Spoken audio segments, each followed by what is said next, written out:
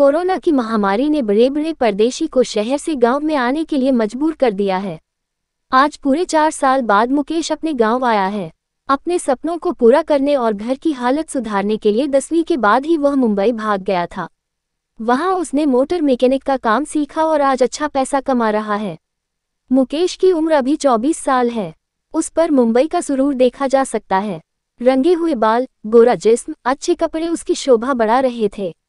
मुकेश अपने घर के बाहर बरामदे में बैठा हुआ था कि तभी उसकी नज़र सामने लगे नल पर पड़ी, जहाँ एक सत्रह साल की खूबसूरत लड़की पानी भर रही थी। मुकेश की नज़रों को मानो कोई जादू सा लग गया था। वह एकटक उसी को ही देखे जा रहा था। उसकी नज़र उसका तब तक पीछा करती रही, जब तक कि वह पानी लेकर आँखों से ओ। ल न हो गई। मुकेश ने अपनी भाभी से पूछा, भाभी, ये लड़की कौन है?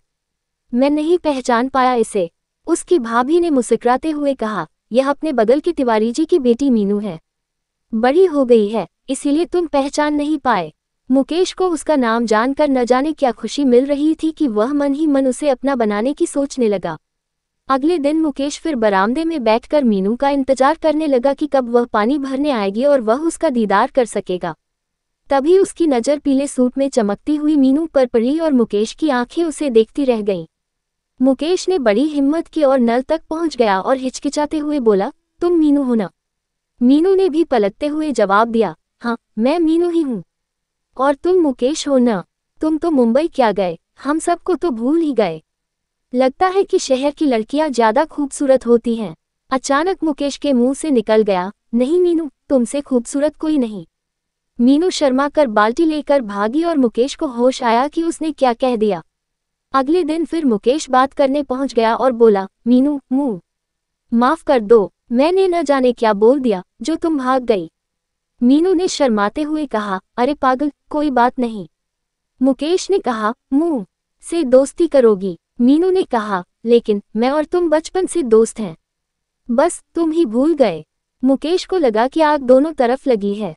उसने बड़े प्यार से इशारों वाली बात में कहा, वह वाली दोस्त बनोगी, गर्लफ्रेंड वाली। मीनू ने कहा, तुम परेशान करोगे, क्योंकि मैंने ऐसा फ़िल्मों में देखा है. मुकेश ने मुस्कुराते हुए कहा, नहीं, प्यार करूँगा बस। परेशान कभी नहीं करूँगा मेरी मीनू। इसी तरह दोनों की प्यार भरी मुलाकातें और बातें बढ़ती गईं। मुकेश प्यार से कभी मीनू का हाथ छू लेता, तब उसके शरीर में एक अजीब सी सिहरन दौड़ जाती। पर है, उभार और कमर की खूबसूरती लड़कों को खींचती। उसके कॉलेज के न जाने कितने लड़कों ने उसे प्यार के लिए मनाया। पर उसके मन में मुकेश के सिवा कोई नहीं।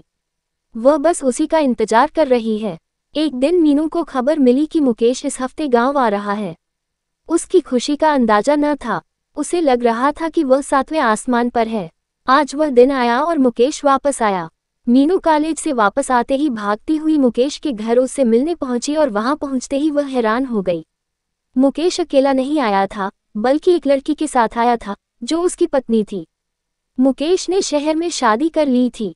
मीनू को देखते ही मुकेश ने उसे अपने पास बुलाया और पत्नी से मिलाते हुए कहा, सुनो, यह मेरी वह वाली दोस्त है, जिसके बारे में मैंने तुम्हें बताया था मीनू ने भी मुकेश की पत्नी को गले लगाया और कहा, तुम बहुत भाग्यशाली हो, तुम्हें सबसे अच्छा लड़का मिला, जो मेरा दोस्त था मीनू वहाँ से भागती हुई आए और बहुत रोई। वह खुद को सम, ने की कोशिश कर रही थी कि वह तो सिर्फ़ वह वाली दोस्त थी।